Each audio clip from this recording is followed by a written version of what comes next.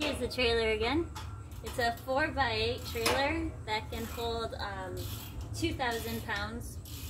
So we're just going to connect it to our Mazda hatchback, which is not a truck, but will be like a switchblade, like a Swiss Army knife of cars, and we can have this on the back, uh, and then take all of our supplies up to the land.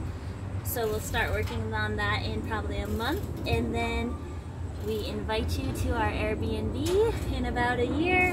Um, so yeah, leave a comment if you're interested in a specific kind of Airbnb like a A-frame cabin or a yurt if you have a preference. Uh, we're curious what you prefer.